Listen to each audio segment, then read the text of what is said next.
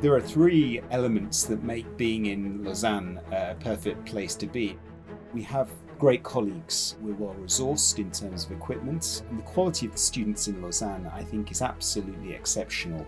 The collaborations in the Faculty of Geosciences and the Environment are really interesting because the faculty mixes geographers and geologists together to understand uh, the processes in the history of our Earth as well as the people who live on the Earth. Working at the University of Lausanne and the Faculty of Geosciences and Environment is really wonderful because um, people are very open-minded, they're very interested in communication collaboration, and there's a real desire to have a positive impact on the world around us. The research that my group is doing helps us understand biodiversity as well as the processes of evolution, which are really important in a modern context. Some of our most exciting findings have been studying early arthropod fossils that are exceptionally preserved, which means we can see soft tissues and complete anatomy of 500 million year old arthropods. We have an amazing suite of analytical equipment available to us, and we've developed a method to understand what types of animals and tissues are not making it into the rock record, combining an angle of experimental taphonomy to use living arthropods to understand the ancient animal fossil record. The focus of my research is igneous petrology. A very exciting project is, was just recently funded by the International Continental Drilling Program. We will drill kilometer-long holes into the lower crust in the Alps to understand the most important transition on the Earth from the crust to the mantle. It's an interdisciplinary project between different countries which will get new insights how the continental crust forms. And this is important for a better understanding of cycling of CO2, the interaction with the biosphere, with the atmosphere and the hydrosphere. The most exciting thing we've been doing recently is developing a very old dating technique based on defects in quartz minerals to record the temperature changes in rocks that we can use to understand how mountain ranges have formed and when valleys have been formed and to what extent a changing climate is important in that process.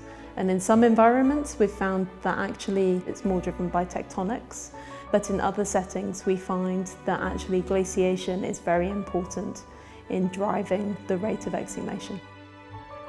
Most of my work at the moment is concerned with the fundamental science of the areas that are created when glaciers and ice sheets uh, retreat, so proglacial margins. We've been able to collaborate with a hydroelectric power company using their sediment intake volume data in parallel with reconstruction of how much water these glaciers are producing. And from that, we can start to think about well, what does that mean as glaciers retreat, not just in terms of their hydrology, but in terms of groundwater dynamics and the role of ecosystem development in these sorts of environments. My research focuses on the social dimensions of environmental change in developing countries. In particular, I look at phenomena like fire or invasive species, and I look at how history, politics, socioeconomics affect how different groups of people negotiate and collaborate about those environmental phenomena.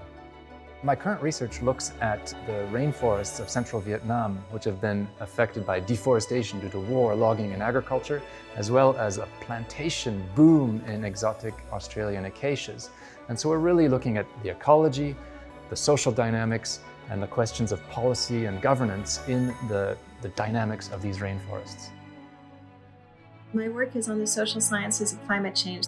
So I'm working on a project called Living Well Within Limits, where we're trying to understand uh, what are the resource use that people need to live well, and how we can deliver that in a very efficient and equitable way.